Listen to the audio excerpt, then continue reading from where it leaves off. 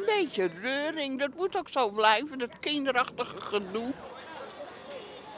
In Zandvoort Nieuw-Noord zijn ze blij dat er eindelijk iets te doen is. Op dinsdag staat er nu een markt. Het is een proef op initiatief van de buurt.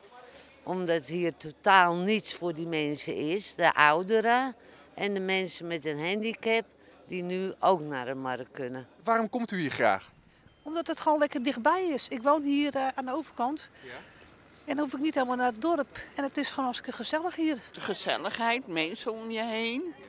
Ja, het is anders een hele saaie boel hier zo.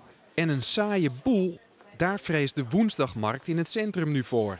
Ze vrezen dat hun klanten wegblijven door de nieuwe dinsdagmarkt in Noord. Ja, zomerdag is het, is het natuurlijk, hebben we de toeristen, is het, eh, is het gewoon een lekkere markt. Maar winterdag zie je gewoon dat de markt, kijk maar rond nu, is het, eh, is het gewoon rustiger.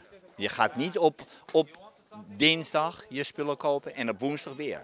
De woensdagmarkt heeft bezwaar aangetekend bij de gemeente. Ze willen dat de dinsdagmarkt bijvoorbeeld naar zaterdag verplaatst. Kan niet, zegt Noord.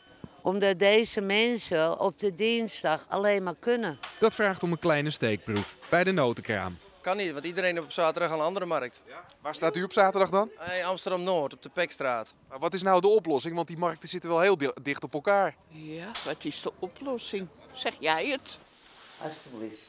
Freya heeft 600 handtekeningen bij de burgemeester ingeleverd. En die lijkt ze te steunen. En deze proef heeft wat ons betreft laten zien dat hij naar meer smaakt. En de burgemeester wil graag met beide markten praten over een goede oplossing. Daar komen we ook wel uit, denk ik, hè? Met het centrum, wel ja. We staan open voor elke suggestie. Als u dan gewoon op dinsdag gaat, maar ook op woensdag naar het centrum, dan is iedereen blij. Ja, U bent de oplossing. ben ik de oplossing? Ja, moela.